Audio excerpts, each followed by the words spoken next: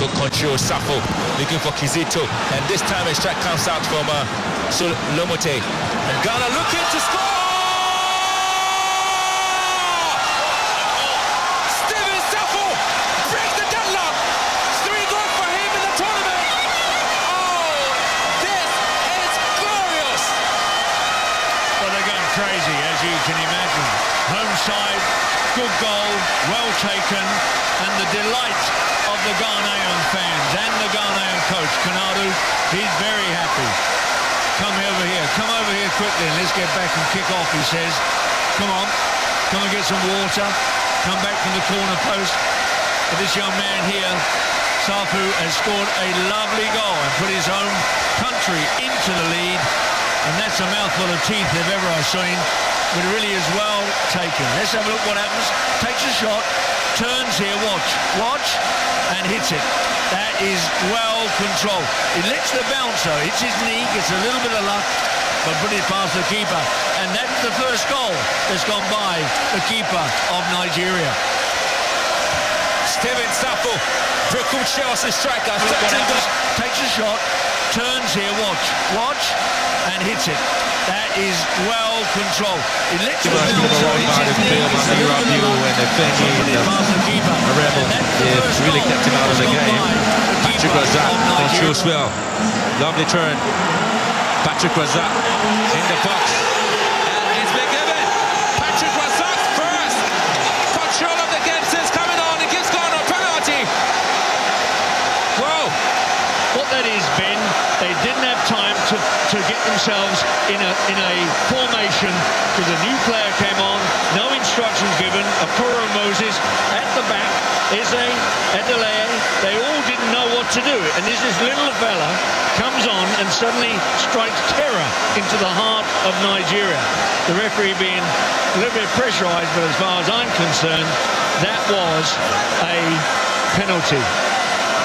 That was a penalty. We brought him down. Being pressured is the man from Senegal at this moment by the goalkeeper, who is, of course, the captain. So he's allowed to have his say as long as his say is not in any way verbose. Have a look. Turns well. Gets it. Now he puts it inside. Here he goes. Oh! Where does the tackle start? Where does it take from penalty? It really is. Calm, collected, and the big man scores again to give himself two, game, two goals in the competition. There it is. Look what he does. It looks like he's going to pull his foot round it the way he goes up there. They're going to whip that into the other corner and he opens his foot up and pushing it past the keeper. That Tested is a control of the cool, ball here. calm, collected Boom. Lomotey.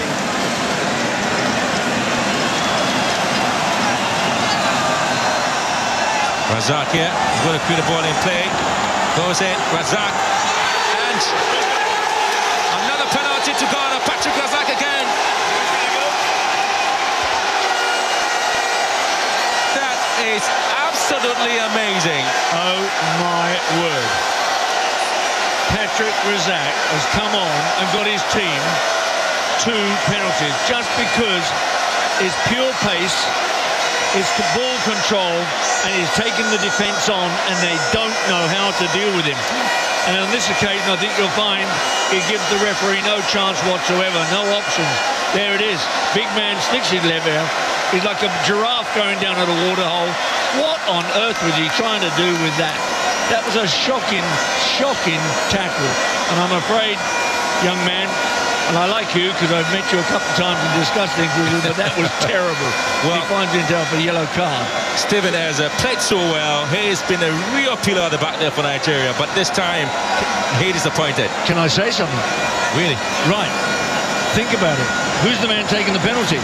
Steven Safo has been given that responsibility. Exactly. So what does that mean? Well, if, if he's about to hit the back of the net, makes it four for him. Exactly. That's Yeah, what so- I'm getting at. Yeah. So he needs to. He needs this to Yeah. win the golden boot hmm. on his own. Yeah. But it's heavy. Can he pick it up? Well, he's gonna I'm get, sure he knows He's going to get some friends in Berekum to help him out. Let's see what happens. Steven Safo here. Safo!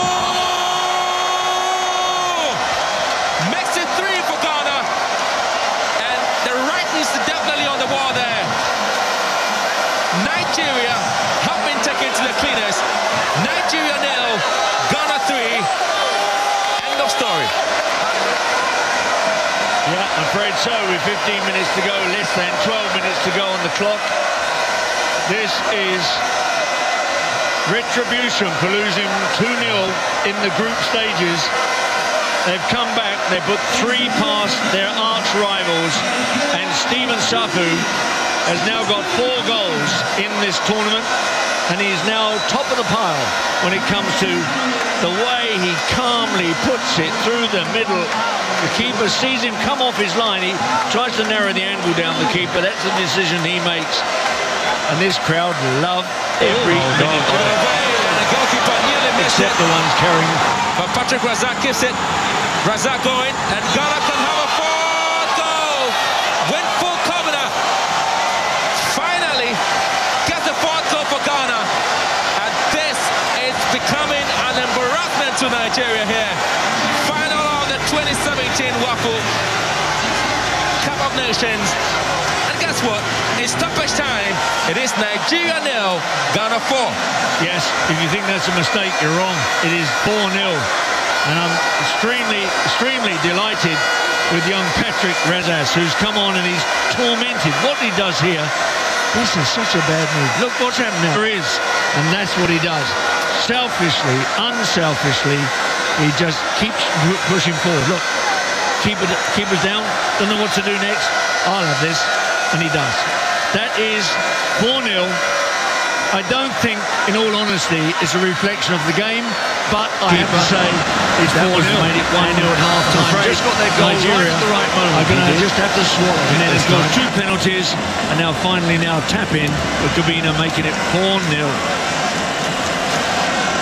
Final attacking move there for Nigeria. The free kick ball whipped in beautifully. Oh, that is fantastic goal.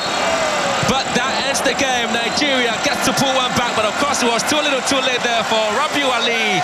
4-1 it ends, and Nigeria completely embarrassed here. And, well, I just have to say this. It was a well-taken free kick by Rabiu Ali, but it came in too late. Well, Ali got one of those earlier in the competition, one of those free kicks. He's a very good exponent of the ball when it's a dead, dead ball situation.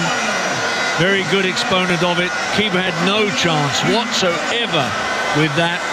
And Ali, the oldest man on the field, watch this. That is beautiful. Keeper just takes one step to his right and puts himself a little extra pressure to try and get to the left, and he doesn't do so.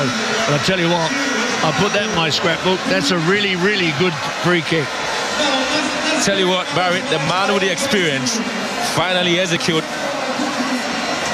Good free kick there for Nigeria. It was indeed. I'd already written down 4-0 and to the game, and I've had to adjust my uh, uh, my scorecard. But let's have a look at it. What it was. First half.